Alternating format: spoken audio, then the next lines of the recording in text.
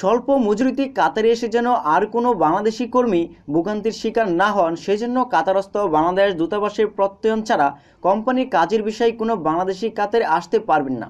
পাশাপাশি বাংলাদেশ সরকারের ঘোষিত মজুরি চেয়ে কম মজুরিতে কোনো এজেন্সি কাতারে বাংলাদেশি কর্মী পাঠাতে পারবেন না। এর ফলে এখন থেকে কাতারের কোনো প্রতিষ্ঠান বাংলাদেশ থেকে কর্মী নিতে চাইলে প্রথমে কাতারস্থ বাংলাদেশ দূতাবাসে গিয়ে বিষয় কর্মীর জন্য চুক্তিপত্র জমা দিতে হবে।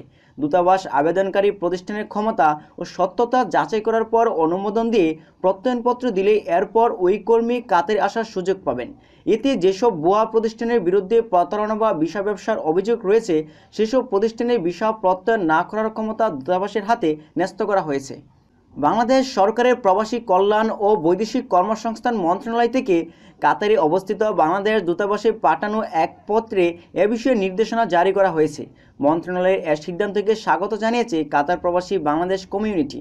দূতাবাস সূত্রে জানা গেছে, গত বাইশে আগস্ট বাংলাদেশ থেকে এ সম্পর্কিত চিঠি পাঠানো হয়। এর ফলে কাতারের জন্য নির্ধারিত সরকার ঘোষিত সর্বনিম্ন মজুরি চেয়ে কম বেতনে কোনো বাংলাদেশি কর্মী কাতারে আসতে পারবে না। ফলে কাতারে আসার পর হতাশা ও অল্প বেতনের প্রতারণা থেকে মুক্তি পাবেন বাংলাদেশি কর্মীরা। চুক্তিপত্র ছাড়া একজন বাংলাদেশি কর্মীও যেন আর কাতারে না যান, সে ব্যাপারে বিএমইটির পরিচালককে নির্দেশ দেওয়া হয়েছে ওই পত্রে। নতুন ওই বাধ্যবাধকতার ফলে সাম্প্রতিক সময়ে বাংলাদেশ দূতাবাসে ভিড় করেছেন বিভিন্ন কোম্পানির কর্তারা।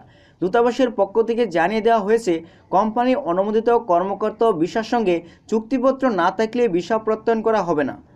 কাউন্সিলর ডক্টর সিরাজুল ইসলাম বলেন, নিরাপদ অভিবাসন ও কর্মীদের কল্যাণ নিশ্চিত করতে হলে নিয়োগকারী প্রতিষ্ঠানের সক্ষমতা যাচাই করা অপরিহার্য।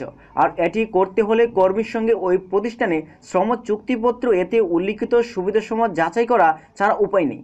রাষ্ট্রদূতের নির্দেশনা মোতাবেক বাংলাদেশ দূতাবাস বিদ্যমান জনশক্তিতে এ ব্যাপারে সর্বোত্তম সেবা দিতে বদ্ধপরিকর।